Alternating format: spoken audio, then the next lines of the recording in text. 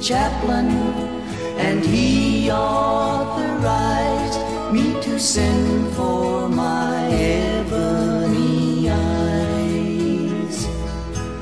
My ebony eyes was coming to me from out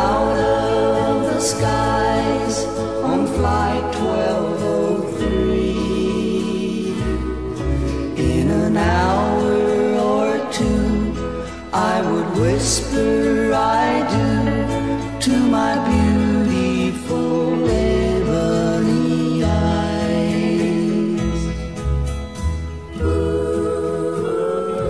The plane was way overdue. So I went inside to the airline's desk and I said, Sir, I wonder why 1203 is so late. He said, Oh, they probably took off late. They may have run into some turbulent weather and had to alter their course.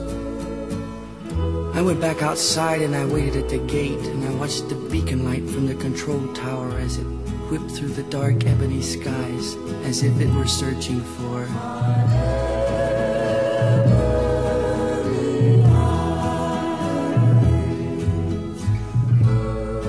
And then came the announcement over the loudspeaker.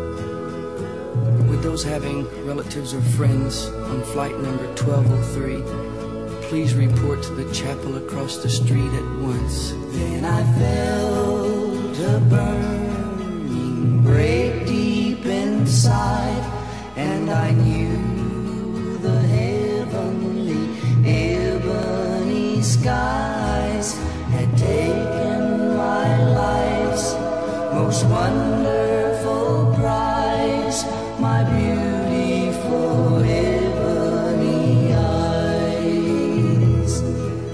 If I